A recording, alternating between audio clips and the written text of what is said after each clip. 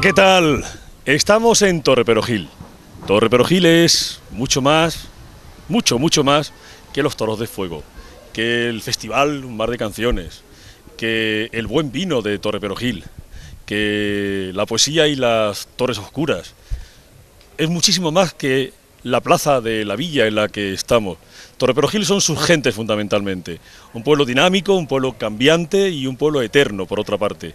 Es un pueblo que aglutina una historia espectacular. Cultura, espectáculos, festejos, gente trabajadora, gente que se levanta por las mañanas y que se preguntan cómo vamos a aprovechar el día. Buena gente, en definitiva. Y por eso estamos aquí, en Torreperogil. Y nos hemos rodeado de parte de una representación eh, de esa buena gente de Torreperogil. Don José Ruiz, alcalde de Torreperogil, ¿qué tal? ¿Cómo está usted?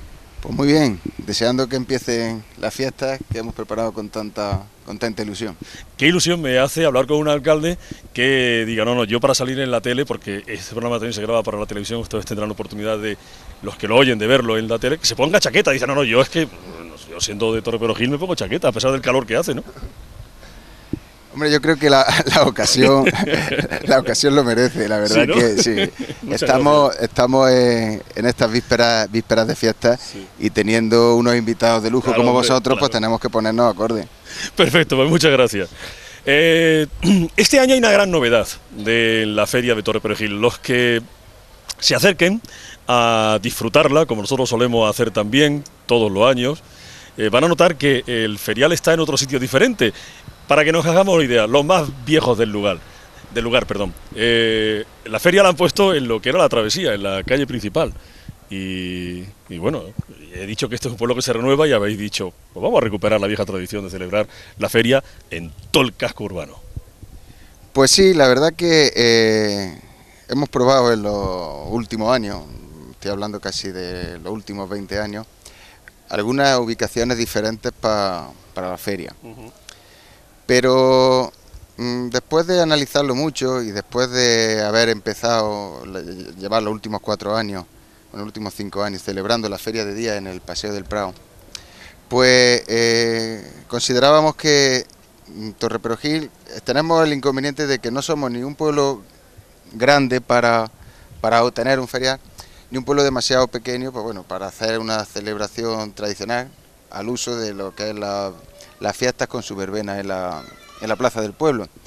Pero después de la experiencia de, la feria de día y por petición popular, pues hemos considerado que decantarnos por la segunda opción, es decir, por unas fiestas tradicionales que giren en torno a esa verbena en la plaza del pueblo y a partir de ahí, pues bueno, montar todo el ferial con los carruseles, las casetas, los puestecillos, la churrería, todo girando en torno a esa idea, ese núcleo central que es el paseo, la plaza del pueblo, y a partir de ahí montarlo todo en torno a esa, verbena popular que queremos recuperar y que creemos que puede ser que puede ser un éxito. realmente lo has definido muy bien, ¿no? No somos una ciudad grande que se pueda permitir el lujo en sus presupuestos de habilitar una explanada en las afueras y un servicio de autobuses, en fin, todas las complicaciones que tiene para comunicar un ferial en el extrarradio con la localidad.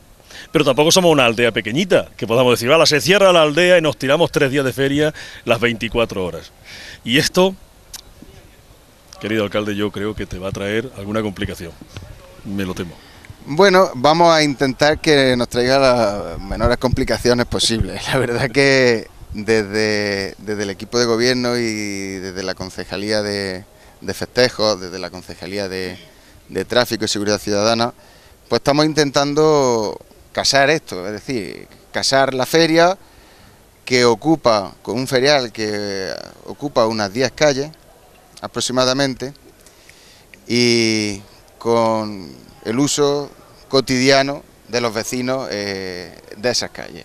Entonces, pues bueno, eh, entendemos que, claro, son, son seis días, no es mucho tiempo, pero bueno, las molestias que se generan pues son las lógicas y las propias, las propias de la feria. Nosotros eh, lo primero que hacemos y que hicimos fue consultar con los vecinos de la zona, preguntarles si estaban dispuestos a asumir nuevamente la ubicación de ferial en estas calles. La verdad que tuvimos muy buena acogida por su parte. Y yo ya de antemano, pues bueno, quiero aprovechar para agradecerle eh, esa buena acogida y de antemano también pues para pedirle disculpas por las molestias que se pueden generar. Nosotros vamos a intentar desde el ayuntamiento poner todos los medios para que las molestias sean las mínimas. Es decir, sobre todo vamos a hacer unos esfuerzos eh, grandísimos en materia de limpieza para que la gente cuando se levante por la mañana, pues bueno, eh, no vean sus puertas llenas de vasos, llenas de, suciedad, sino que parezcan que esa noche de antes no ha habido feria, no ha pasado la feria por allí. Eh, vamos a reforzar las medidas de seguridad, es decir, vamos a meter un doble turno de, policía, cosa que no se ha hecho nunca en, en, la feria en nuestro, en nuestro pueblo, y vamos a intentar, pues bueno, eh, casar esto para compaginar eh, la diversión de la gente, eh, compaginarlo también, lógicamente, con la limpieza del, ferial y también, pues bueno, permitir alguna hora que pueda estar este ferial abierto al tráfico para que la gente, pues, si tiene que salir a hacer algunas compras, tiene que coger coche y tienen que hacer, en entrar y salir de sus casas, pues que lo puedan hacer también con, con total tranquilidad. Que eso no quiere decir que vaya a ser una feria venida menos, estamos hablando de una, de una feria programada con más de 16 horas, horas de actividad al día y bueno, eh, se había suscitado alguna polémica con el tema, con el tema del horario y decir que, bueno, que no pensemos en, el, en los horarios porque creo que aquí va a haber horas suficientes para que todo el que se quiera divertir se pueda divertir hasta la hora que, que, que, que estén dispuestos. Por ahondar, vamos, por decir, ¿cuántas horas de verbena tenéis? Pues mira, de verbena eh, tenemos desde a partir de las 12 de la noche, a aproximadamente hasta las 5 de la mañana. O sea, tenemos chumba, chumba, pero del bueno. Hasta las 5 de la madrugada. O sea, 5 horitas de verbena. De verbena. Bien, no está mal. No está mal. Luego, que luego la cosa se alarga un poquillo. Tampoco pasa nada. Tampoco vamos a liarla. Tampoco pasa nada. Eso. Luego limpiamos, cogemos y ya recogemos los trastos, ¿no? Apagamos la, los altavoces y los músicos que se vayan a dormir. Y limpiamos un poquito del pueblo, ¿no? Sí. Abrimos al tráfico. Abrimos el que tráfico. yo el problema, yo el problema que, que os veo fundamentalmente, que la, la, gente tiene que repartir con los vehículos, con las furgonetas y con los camiones, ¿no? Abrimos el tráfico a las siete y media de la mañana. A las siete y media. ¿Y estamos hasta? A, hasta las doce y media. Y a las doce y media, amigo, el que es, se haya despistado pierde la furgoneta. Se queda fuera. Se queda, se queda dentro. Fuera o se o queda dentro. dentro. De dónde, depende de dónde le pille. Porque a las doce y media, amigos, estamos otra vez con. Con la feria de día. Con la feria de día. Y aquí ya no perdonamos a nadie. ¿eh? Aquí ya hasta que hasta que tengamos que volver a parar para volver a limpiar. Bueno, pues. Que hemos, plan, hemos, claro. hemos, planificado que sea hasta las 7 de la tarde aproximadamente. Sí. Y hay otro ratico que no es. ¿Vamos a descansar? Ahí no, no. Nos vamos a limpiar el feriado. Limpiamos el feriado. Limpiamos el feriado otra vez. Y ya de ahí pues nos vamos a, a, seguir con las actividades. Pues le manda un abrazo al personal de limpieza, que ese sí que se va a tirar una feria buena, ¿eh? Sí, la verdad que tengo que, que agradecer la, la labor tan impresionante que hacen los servicios sí, externos sí. del ayuntamiento y sobre todo los que van a hacer el servicio de, de, limpieza porque para nosotros es una de las prioridades de esta, de esta fiesta. Magnífico. Bueno, he dicho que estamos en la Plaza de la Villa, que la veis... Eh, bueno, hace poco yo venía, tenía que dar una vuelta para poder entrar a, la, a vuestro ayuntamiento cuando nos convocáis para ruedas de prensa, para comunicados, y había que dar, dejar el coche allí en el aparcamiento y, y dar la vuelta entera. No hace mucho, ¿eh? O sea, esto está recién, recién. Sí, bueno, llevamos. Nada. Creo que son cinco meses, cuatro o claro. cinco meses. Eh, con la plaza ya, ya terminada. Ha quedado muy coqueta y muy diáfana, ¿eh? Y la verdad que, bueno, lo que se pretendía que era ganar espacio para, para el disfrute de, sí, de la sí, gente, pues creo que lo hemos conseguido. Luego ya pues habrá gustos como colores. Claro, a uno le ponga le, pegas, como le gustará más, a otros les gustará menos, pero bueno, nosotros lo hemos hecho con la, con la mejor intención, con la intención de, de, ya digo, de recuperar este, este espacio para que la gente lo, lo, pueda, lo pueda disfrutar y sobre todo también, pues bueno, ajustándonos a la austeridad que la economía local nos, nos demanda y en fin, ha sido una obra austera, pero que yo creo que ha dado buen resultado. Ya habéis cambiado el pavimento sí. y habéis puesto alumbrado nuevo, ya habéis metido LED, ¿no? Sí, sí. Y lo que, bueno, y, y yo casi casi que os agradezco que no hayáis colocado ningún monumento de estos raros en medio, ¿eh? que muchos alcaldes son dados a esas cosas, que se lo hacen de buena fe, pero que luego dices, caramba, ¿y esto qué significa? Que, que me habéis plantado en mitad de la plaza. Aquí no, ¿eh? Aquí como podrán ver los que vengan y los que vean 10 televisión, pues ha quedado diáfana, ha quedado muy limpia. Una plaza, sí señor, que me ha gustado la plaza. ¿Te ha gustado, no? Es que sí, que sí, que enhorabuena. Con esa intención la hemos hecho, con la intención Que luego nos mande de, a, de que guste. a, a, tu arquitecto, que este nos va a apañar las plazas también de por allí. Bueno, pues vamos a hablar de festejos, si te parece, con tu concejala, con Pepi Mezcua. ¿Qué tal? ¿Cómo estás? Hola, buenos días. Agotada, ¿no? Supongo. Sí. ¿Eh? agotadilla, agotadilla. En las reuniones previas para el cambio de ferial, ¿ha estado tú? Sí. Y dice el alcalde que bien, ¿no? Que los vecinos sí, encantados. Muy bien, los vecinos de acuerdo totalmente. Además, Sí. era una cosa que la estaban demandando, que la estaban pidiendo. Sí. Y la aceptación por parte de los vecinos, que les va a afectar realmente donde está ubicada la feria, una aceptación buenísima. Claro, es que se recupera el sabor de feria de pueblo. Las ferias en los extrarradios están muy bien, no molestan, pero no dejan de ser una feria de, de- pues una feria, otra cosa. Sí, sí, ¿Eh? cuando los ¿Cómo, pueblos cómo? son Feria pequeños. de diseño. Pues de, de diseño, muy bien. Pero la feria de pueblo Sí, es la feria de pueblo que es se la celebran feria, en el sí. casco, ¿no? Que- Además, cuando una feria funciona, como tenemos la feria de día, que funciona bastante bien, pues lo más normal es llevarte la feria de noche al sitio donde, donde funciona. Y vosotros lo teníais claro, queríais Sí, una feria de pueblo, ¿no? A partir del año pasado, cuando terminamos de la fiesta, lo decidimos, lo planteamos y, y la verdad que los grupos políticos que estamos, mm, todos estuvimos de acuerdo en, en cambiar la, la ubicación de, de la feria, en volver a su antiguo origen. Perfecto, pues ya está. Y si luego además, si- bueno, y además que las cosas no tienen por qué, que esto no es una sentencia, vamos, No, no. que si la cosa sale mal o tal, Sí, pues claro, que nos volvemos otra vez a y otro sitio y si buscamos otro emplazamiento, ¿no? aquí a todo. Que tampoco hay que Sí. empecinarse a decir, no, pues no, No, va a estar en tal sitio. Nada. Eh, perfecto. ¿Qué, qué- qué- qué habéis eh, aportado? Porque vosotros tenéis una actividad eh, en la feria muy interesante. El toro aquí Sí, el tiene una importancia es- extraordinaria. No, el toro ¿No? es una cosa que, que por tradición lo tenemos que, que sacar sí o sí. Sí. Vamos. De hecho, a lo mejor se empieza a recortar un poco el toro y empiezan ya que si no me Ahí sí que no no que me si toques esto, los no toros, me toques ¿eh? el toro. No me toques lo los novillos. toca lo que quieras, pero Bueno, ¿cómo son no. las vaquillas este año? Las vaquillas, pero bueno, sí, las vaquillas, las vaquillas son los días 9, 10 Sí. y 11. ¿Y, y cómo? ¿Ya las has visto? ¿Eh? Sí, ¿Has visto el ganado? Estuvieron ¿Y qué? ya. Porque vosotros sois muy exagerados para esto de los toros. Vosotros decís una vaquilla, pero caramba, yo, yo que he tenido la suerte de disfrutar Yo más de una vez. iguales, si te digo la yo para mí los veo muy bueno. grandes, ¿eh? Yo- muy grandes, sí, muy Sí. grandes. Son tres vacas este año lo que tenemos y un toro. Ea, nada, Sí, nada más, ¿eh? nada más, Sí, para que no haya diversidad esa de géneros, ¿no? De Sí, toro y. el año no, el año pasado los teníamos más, Sí, más emparejados. más eran dos vacas y un emparejadoidos, ¿no? toro. Sí, se ve que este año las mujeres abundan más. Bueno, pues muy bien. Y para que os hagáis una idea, aquellos que no hayáis visto el, el- ¿Cómo se llama la zona donde celebráis el, el, hacéis el cercado? El barrio La Carrera. El barrio La Carrera, vale. El barrio La Carrera. ¿Cuánta gente puede- calculas que puede, mm, a lo largo de la hora, son tres horas, ¿no? Lo que tenéis. Sí, tres horas, Sí, más o menos, que es lo que la sí, normativa. eh, Sí, perfecto. 9 a 12, 9 a Bueno, 1. pues normativa aparte, digo, ¿cuánta gente crees que puede situarse alrededor? Es decir, ¿qué, no- no expectación nunca- suscita? No me he parado nunca a contar. Ya, ya, yo ya, creo que hay bastante, bastante gente. Es una aceptación. Pero vamos, bastante- si digo que casi todo el pueblo Sí, acaba desfilando por ahí, pues sí. ¿exagero mucho? Sí. No, vale. no, no, si digo que mucha gente de Úbeda se acerca, Exactamente, de Úbeda, de Villacarrillo, de Sabiote, gente. O sea que sí nos podemos juntar unos pocos miles allí Sí. arriba, ¿no? Y ¿Es posible? Yo creo que este año mucho más, con la cosa de tener fin de semana, el día 10 es el segundo día de, de vacas, es sábado. O sea, no, lo digo porque, eh, como todo en la vida es discutible, ¿no? Hemos dicho que. Y esto de los encierros y tal, pues también lo es. Pero fijaros el interés que puede suscitar el asunto, ¿no? Son miles de personas, tantos miles, a lo mejor no están equivocados, digo yo, no lo sé. Y. Y luego gente que se va a tomar una cerveza en los bares, ¿no? Sí, sí. Tú dile ahora a los hosteleros de Torrepero Gil que lo de las vacas los vamos a quitar, ¿no? No, es imposible tampoco. Es como el toro de fuego. Yo creo que es una tradición. ¿Como el qué, perdón? eh, como el toro de fuego. Es Pues una como el toro de tradición. El toro del aguardiente, yo creo que van en paralelo y eso no.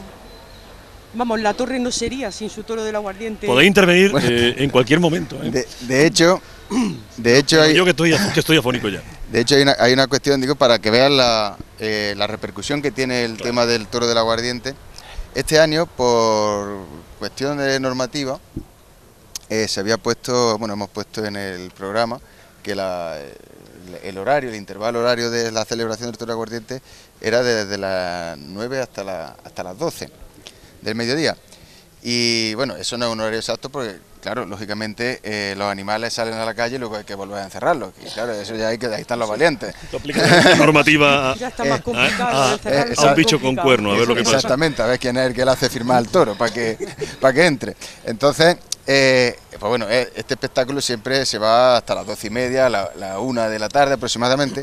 Pues el hecho de, de poner en el programa, por, ya digo, por normativa, el, el intervalo que de horario, ya ha generado cierta polémica. Es decir, la gente dice, bueno, que nos van a quitar este año media hora de vaca, o que nos van a quitar tres cuartos de hora de vaca. Es decir, eso es sagrado. Oye. Los encierros aquí hay que celebrarlos sí o sí. Pues eso es garantía, est- esta convicción es garantía de que vamos a tener encierros durante muchísimo tiempo. ¿Y alguna novedad más que quieras destacar eh, de momento? Porque luego seguiremos hablando de la feria, que para eso hemos pues, venido. Prácticamente es la programación que se hace, porque dentro Sí. de los presupuestos no podemos variar Bueno, mucho la programación y tampoco claro. nos podemos extender mucho en cosas, pero bueno, yo creo que tenemos una Pero verbena no va a faltar, ¿no? ¿Cuántos días de No, verbena tenéis? Un día de verbena empezamos esta noche, Efectivamente. el día 6, el 7, 8, 5, 6 días. Cinco, cinco. Cinco días, sí, días de verbena. día si no... Cinco orquestas de las buenas, ¿no? Mm, orquestas que están funcionando bien, ya otros años han estado aquí algunas y, y la gente está contenta. Ah, y Sabes, el otro día, sí, entre tú y yo, el otro día iba con mi compañero en el coche, íbamos hablando de las verbenas, me decía, mira, yo que llevo ya muchas ferias en el cuerpo, lo que yo le pido a la verbena, pueden ser algunas mejores, perdón, a la verbena, al grupo, La a la orquesta, ¿no? Eh, pueden ser mejores, pueden ser peores, dice, pero que, que tienen que echar cinco o seis horas de sí, música no, no, bajo. eso es seguro. Ahí que eso es éxito guay. garantizado, ¿no? Sí. Y luego ya cada uno, pues claro, canta como puede, ¿no? Es que la gente esté a gusto, que y si no pueden cantar como pueden, pues ya lo ayudaremos nosotros, ¿no? ayudaremos. Bueno, flamenco. El flamenco en Torre Gil tiene una importancia extraordinaria. Y aquí, eh, pues tengo una persona que es eh, el concejal de Cultura, Francisco Paco Torres, ¿verdad? Que de flamenco, yo no sé si sabes un montón, no, no lo sé, ¿eh? Acércate al micrófono, por favor. Hombre, mm, de flamenco Que no sé si eres confiamos. muy aficionado, eres muy flamenco o no. Flamenco poco. Eh, aficionado, vamos, aquí confiamos en lo que es la organización de- del Festival Flamenco Villa de Torre Perojil, a la Peña Flamenca La Soleá, que ellos sí son unos verdaderos entendidos en, en la materia. De hecho, este año se celebra la, la 34 edición de- del Festival Flamenco y eso pues quiere decir algo, es una de las peñas más antiguas de, de la provincia de Jaén. Y, mira, Paco, que las peñas han tenido sus más y sus menos, ¿eh? Que hubo una época muy buena para las peñas flamencas, luego decayeron. Ahora parece que se vuelve otra vez a revitalizar el asunto y la gente vuelve a darse cuenta de que si no se vive el flamenco durante todo el año y se articula a través de una peña, difícilmente se puede luego exigir a la administración, aunque sea el ayuntamiento la más próxima, que se vuelque. Claro, eh, efectivamente es y lo digo así. por algunas peñas de algunas zonas de por aquí cerca que ¿eh? se han relajado algunos un poquito, ¿no? No, la Peña Flamenca La Soledad no, no está relajada en ningún momento, de hecho pues tiene una programación anual y eso pues hace que se mantenga viva la llama de- del flamenco y también pues por eso mismo pues cuando pide la colaboración de la Concejalía de Cultura pues ahí siempre estamos apoyando pues para que siga esa programación anual. Vamos a ver. Esta ya es la pregunta buena. Esta es la que yo me tenía reservada. Eh, ¿Os habéis convertido en una ciudad, además de muchas otras cosas que se os conoce, por ser un- una ciudad de festivales? A ver, ¿qué os ha dado a vosotros? Porque es que además celebráis festivales y encima se os llena. Pues la verdad es que tenemos una gran, una gran suerte, eh, eh, tenemos varios festivales de diversos... ¿Cómo, ¿Cómo varios? Tenéis festivales todo el año. de diversos estilos, tenemos una programación bastante buena. Aquí nos acompaña Juan Francisco, el concejal de, de turismo, que en este año pues, ha sido el encargado de, de organizar el tema de los festivales. Eh, adelanto que hemos hecho un paquete turístico de festivales de verano en el que hay diferentes estilos y la verdad que tienen muy, muy buena acogida. Él nos puede dar más datos al respecto. No, no te preocupes que pienso preguntarle. ¿Cuántos festivales celebráis al año? A ver, cuenta tú. Festivales de envergadura celebramos ¿Cómo? cuatro. No, no, no, y sin envergadura. Bueno, aquí es que prácticamente rara es la semana que no hay un concierto de música de banda eh, y festivales grandes, pues cuatro o cinco festivales tenemos. Y sí. incluso seis, ¿no? Claro, y tenéis el de Bueno, me refería a, festivales de música, luego tenemos también la muestra de teatro, Teatro. y, y vamos. Y luego las exposiciones que celebráis a lo largo del año, que tampoco es una cosa como para ¿eh? Sí, desde la Concejalía de Cultura pues tenemos cuatro pilares fundamentales que son esos, la, la música, la danza, el teatro y las exposiciones. Y siempre pues queremos eh, colaborar un poquito en la programación de la Concejalía de Festejos pues metiendo algunas de estas actividades. Es que el teatro, además, en Torre Perojil, si es que Torre Perojil se conoce por muchas cosas. El, el teatro en Torre Perojil es importantísimo. Esta es escuela de muy buenos profesionales. Sí, desde siempre ha habido una gran afición al teatro, eh, de hecho hay una, compañía local, profesional, Medio Teatro, pues que está haciendo gira prácticamente por, toda Europa y haciendo gala pues de esa de esa afición que en el fondo pues salieron de esas escuelas municipales de, teatro y la verdad que es una suerte pues que estén llevando el nombre de Torre Perogí pues por toda Europa. Muy buena gente salió de las escuelas municipales de este ayuntamiento. Vamos contigo, con, con Juan Francisco. ¿Qué tal? ¿Cómo estás? Muy buenos Juan Francisco Torres, disculpa, es que no pasa nada. No es que no me sabe tu nombre, es que no lo, que no leo, que ya que me pilla la ¿eh? la, la, la longitud del brazo, ¿no? llevas turismo y desarrollo, madre mía, ahí sí que turismo te puedes lucir, pero desarrollo está complicada la cosa, ¿eh? Está complicado. Está muy complicada la cosa, ¿eh? Está turismo porque tenéis argumentos aquí más que de sobra para llamar la atención. Pero, uff, con la crisis, ¿eh? Con la crisis, pues está bastante complicado y con los recursos que tenemos, pues está también bastante más complicado pero uno de los objetivos que hay planteado en esta legislatura es que poco a poco y con el apoyo y la colaboración pues de, todo lo que se pueda, desde organismos, las empresas que tienen también mucho que decir, es darle un empujón un poco a la economía local, la economía local de las empresas de todo tipo que hay en, nuestro pueblo. Y con ese apoyo y esa, y esa colaboración, pues la idea es hacer cosas lo que sea, pero hacer, ir haciendo eventos del tipo que sean para que el, negocio local pues se vea y que tenga un poco de, tirón. Ayer me comentaba un, amigo de Torreperogil, un, un trabajador, como tantos y tantos que hay en este pueblo, y me decía, hombre, digo, ¿cómo ves la cosa? Dice, yo, pues mira, sinceramente yo es que, que, que, no la veo, que no sé lo que está pasando. Es verdad que hay mucha, mucha confusión, ¿no? Eh, será por los tiempos políticos que nos han tocado vivir, eh, porque tenemos una prórroga de gobierno y no sabemos al final en qué va a quedar la cosa. Vuelta, parece, a elecciones. Porque la crisis eh, te llega información por un lado, no, no, esto se acaba, pero por otro lado te llega otra información contradictoria. Es decir, es verdad que estamos un poco desorientadillos, ¿no? Y tú supongo que en, en desarrollo tendrás que lidiar con esa incertidumbre, ¿no? Claro, las conversaciones que hasta el momento ya han sido varias reuniones y conversaciones, unas más formales que otras, tanto mm. con la Asociación de Comerciantes por un lado, como con comerciantes y gente de la empresa, pues siempre la conversación es la misma, ¿no? Que está todo muy mal, que está todo muy mal. Pero claro, yo siempre le digo lo mismo, está todo muy mal, pero hay que echarle un pelín de imaginación a la cosa para eso que está mal intentar cambiarlo, ¿no? Y siempre, no sé si es por deformación profesional también, buscar mm, algo que no se haya hecho, algo que sea novedoso, algo sobre todo que no cueste dinero, que algo o que, la, o que los costes sean mínimos y sobre todo que sea visible y que sea muy muy llamativo, ¿no? Entonces eso sí que despunta, ¿no? y de hecho tenemos un ejemplo claro este verano que ha sido un, bombazo del que estamos, vamos, un bombazo, yo desde mi punto de vista y el equipo de gobierno igual, estamos muy contentos con esa actividad porque ha, dado bastante, bastante buenos resultados. Pero si es que lo lúdico funciona. Lo lúdico está funcionando. La gente tiene ganas de divertirse y de desestresarse, ¿no? Yo no sé si el término es muy académico o no, pero que entiendo que el personal quiere pues, distenderse un poco y decir, pues, ya está bien de bombardeo y de, y de ¿no? Todo lo lúdico funciona. Sé que habéis tenido una temporada de festivales eh, extraordinaria, ¿no? Sí, sí, la verdad es que desde el 1 de ha venido gente de, medio mundo, ¿no? Mm, más, te comento un poco y te lo desgloso. es que el... ¿Qué? ¿Perdón? Acércate al micrófono que, que, si no te oímos. No, que digo que este último fin de semana pues han pasado por el festival de, de baile latino gente de, todo el mundo, sí, prácticamente. pues, pues, lo, pues lo que he dicho, que, que no hay más que ver las imágenes que ofrecemos y los sonidos de nuestros informativos para saber que esto, que Torre Perogil se ha convertido en una ciudad de festivales y además que funciona, claro. A nivel de festivales de música, pues comentás que tenemos cuatro y hay otro que está empezando, eh, uno, el Mar de Canciones que empieza, empezó este año el 1 de julio, a nivel, pues sobre todo regional, ¿no? que ya pues ahí ya te pone a Torre a nivel de, de Andalucía.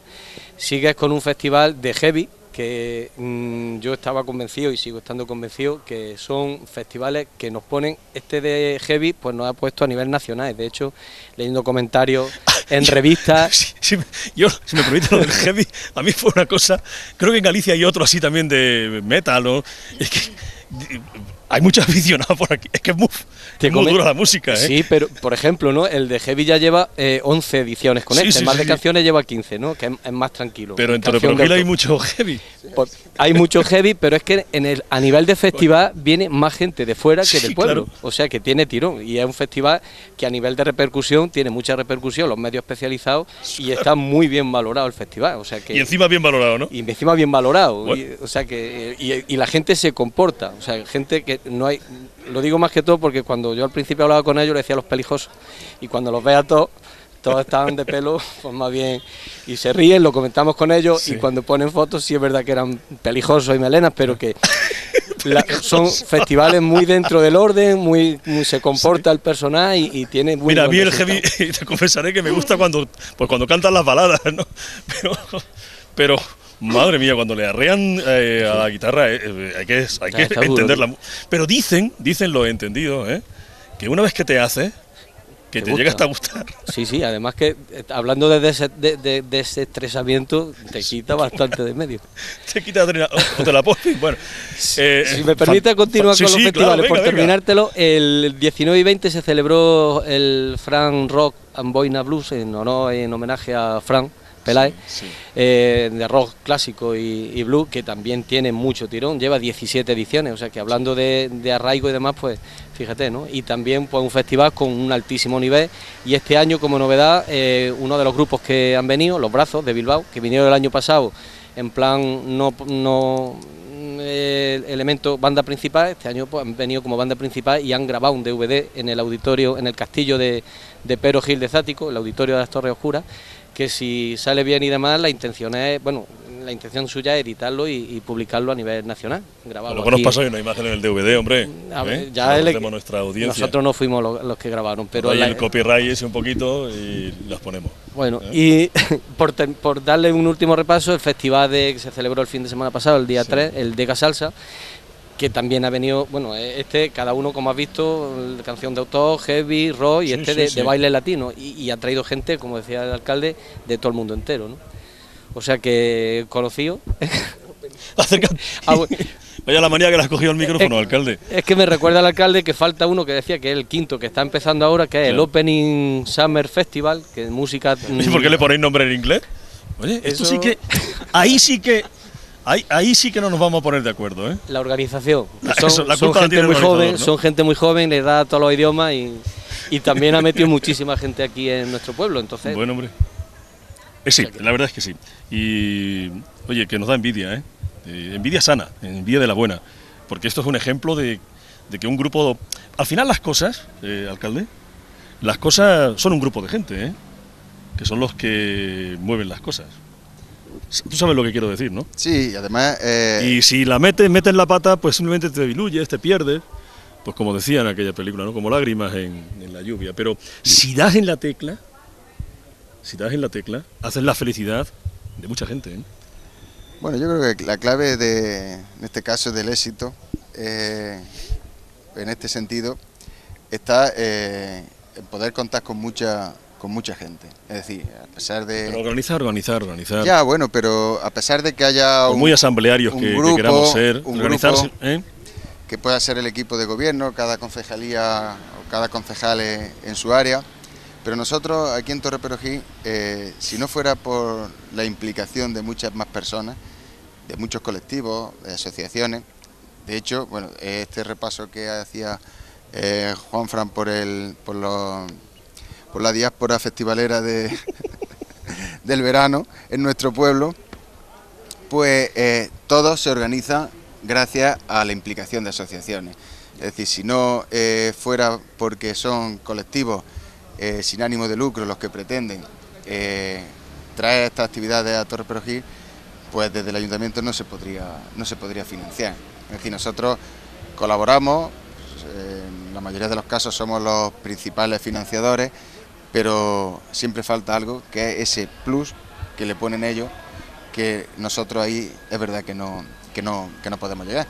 Y bueno, desde aquí pues hacemos lo que podemos. Luego eh, sí me gustaría también destacar, eh, hablando de, de desarrollo, de desarrollo local, pues que desde el ayuntamiento, siendo conscientes de la difícil situación que estamos atravesando, porque no podemos obviar que nuestra economía, pues, entre además de la agricultura y del aceite de oliva, pues estaba basada mucho en la, en la construcción y ese sector pues no, termina de, repuntar a pesar de que eh, digan que, los datos macroeconómicos apuntan a que estamos saliendo de la crisis, pero la crisis se la tenemos cuando verdaderamente las familias hayan salido de la crisis. Y yo sé que hoy en día en Torre Perogil hay todavía muchas familias en crisis y a esas pues bueno son a las que tenemos que prestar principal atención. En ese sentido yo creo que desde el ayuntamiento se está haciendo un trabajo, un trabajo serio. Y también estamos eh, intentando buscar alternativas que puedan generar actividad económica en el municipio. Y de hecho pues tenemos algunos proyectos entre manos que esperemos que pronto sean una realidad. Uno de ellos es eh, un centro de transformación de, biomasa para el aprovechamiento de todos los restos de poda del olivar que hay en, nuestro término municipal y también en la, en la comarca. Es aspiramos a que eso, en vez de que se queme en el campo, tenga un uso posterior para su transformación y aprovechamiento en energía y creemos que eso puede ser eh, una actividad que genere, que genere, que mueva la economía y pueda generar empleo. Estamos también eh, trabajando eh, y diseñando un espacio para el conocimiento del aceite de oliva, virgen extra, que es un restaurante que queremos que sea un espacio temático eh, centrado en el aceite de oliva donde eh, puedan venir los escolares a aprender nuestro producto más insigne de la provincia de Jaén. Esto es un proyecto que queremos darle una trascendencia provincial, es decir, un espacio que sirva para todos aquellos, para todos aquellos aceites de calidad que se están sacando en nuestra provincia, que puedan venir a promocionarlo, que puedan utilizarlo como banco de pruebas es decir, de eh, utilizar el aceite de oliva para, para las comidas, para la restauración, para hacer talleres, para que la gente eh, pueda buscarle aplicaciones a ese, a ese oro líquido que, tenemos en la provincia y también tenemos muchas esperanzas puestas, puestas en él. Estamos trabajando también en el diseño de una planta de biomasa, todo también relacionado con lo que hablábamos antes del centro de transformación. Es decir, eh, son proyectos que, que tienen importancia, que tienen un calado, entendemos, entendemos que puede llegar, pueden llegar lejos.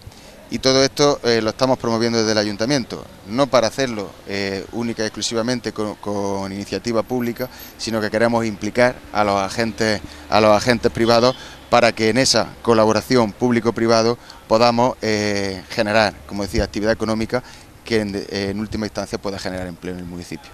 El otro día me decía mi amigo Luis, un albañil de Torre Perogil, me dice, pues ya encontró trabajo en Madrid. Y es que es verdad, en Madrid parece que ha despegado y en el Cataluña, ¿no? en algunas zonas, la construcción y muchos de eh, tus paisanos, eh, mm, bueno, no han tenido ningún problema, por lo menos a mí no me consta, en coger el petate y marcharse a otros sitios pues del lunes, yo le decía, de lunes a jueves como antes, dice, no, no, esta vez ya no ha cambiado esto, ahora de lunes a viernes. digo, bueno, pero bueno, tampoco pasa nada. Dice que no, al contrario mientras haya donde, donde encontrar un tajo, allí estará uno de Toro Perogil dispuesto a dar la cara, ¿no? Sí, eh, si hay algo que, define a, la gente de nuestro pueblo es que somos gente trabajadora, mm. gente que no, que nunca, tradicionalmente, históricamente nunca eh, se han venido a menos, es decir, ha sido gente luchadora, gente guerrillera, como, como digo yo, que se han buscado la vida allí donde, donde ha hecho falta. Sin ir más lejos, eh, pues los años 50, cuando se iba la gente a Suiza a trabajar, a Alemania, de todos estos sitios, pues mucha gente de nuestro pueblo se fueron allí a buscarse la vida cuando aquí en este pueblo no se la podían buscar. Es decir, pero nosotros, eh, aparte de que por el torreño por naturaleza tiene ese espíritu que aventurero, por decirlo de alguna manera, que no le duelen prenda en irse a donde haga falta a buscarse la vida, pero creo que es también eh, obligación de, la administración, en este caso de la administración local, aún sabiendo que no tenemos competencias en materia de empleo, pues por lo menos trabajar porque se generen oportunidades en nuestro pueblo. Ya no sabemos si vamos a generar 10, 15, 20 o 100 empleos, pero sí tenemos, creo, la, la obligación y la convicción moral, al menos de este equipo de gobierno, de que tenemos que eh, trabajar por generar oportunidades en el municipio. Y al final, pues lo podremos conseguir o no, pero lo que no le puede quedar nadie la menor duda, que no le quepa a nadie la menor duda, es de que lo vamos a intentar hasta el último minuto. Y a mí tampoco me cabe ninguna duda. ¿Alguna, ¿Alguno de vosotros quiere aportar algo? Porque no es que el tiempo se nos acabe, que tenemos tiempo más que de sobra, es que el sol nos va a dar dentro de un ratico, a ver quién aguanta aquí en la plaza. Algo, ¿eh? Yo quería deciros algo, pues aportaros algo. Antes cuando estábamos comentando lo del toro de fuego, sí. Eh, para la torre, lo que hemos dicho antes. Que ya está. No puede faltar. Que es el fuego de la vida, vamos. ¿eh? Pues la llama vital. El año pasado mm, hicimos la prueba de intentar mm, hacer un toro de fuego infantil. Y entonces mm, resultó bastante, bastante bien. Y este año quería deciros que, eh, por ejemplo, esta tarde eh, no hay toro de fuego adulto, pero hay dos toros de fuego infantil y a partir del día 7, pues todos los días hay un, toro de, fuego infantil para que los niños, es una manera de acostumbrarse un poco a... Perfecto. Muy bien. Este es un pueblo que sabe trabajar, lo acaba de decir el alcalde y además yo lo, vamos, que lo ratifico, que es un pueblo que sabe trabajar, que sabe divertirse, no hay más que venir en carnaval y, ver cómo sabe divertirse un pueblo entero.